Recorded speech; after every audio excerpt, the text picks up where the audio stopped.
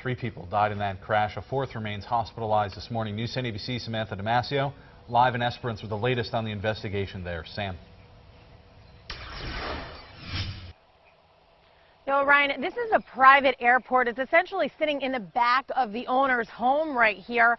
And that what's left of that single engine plane that went down is still sitting about a thousand feet from here. Investigators leaving the debris there as they continue to try to piece together exactly why this plane went down. What we know so far is that there was four people on board this plane and only one made it out alive.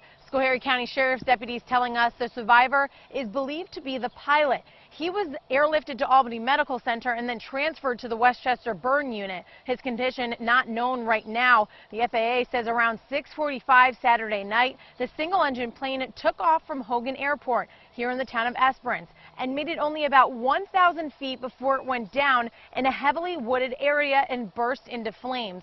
Now, it's believed that this plane was headed to Connecticut. That's where it originated. We're told that the plane had flew in from out of state. They were going to attend a party here hosted by the airport's owners. Now, the autopsies are scheduled for today. We hope to learn the identities of all three and four passengers. Now we are live in Esperance. Samantha Damasio, News 10, ABC.